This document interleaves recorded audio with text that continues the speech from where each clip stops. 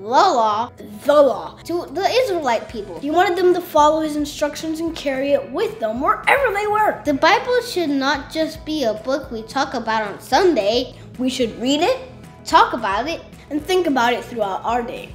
actually each day, Actually, maybe each and every day. just like snorkeling and scuba diving.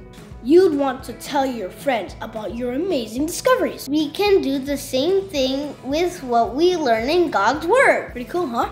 Bottom line, Share what you've learned in the Bible with someone.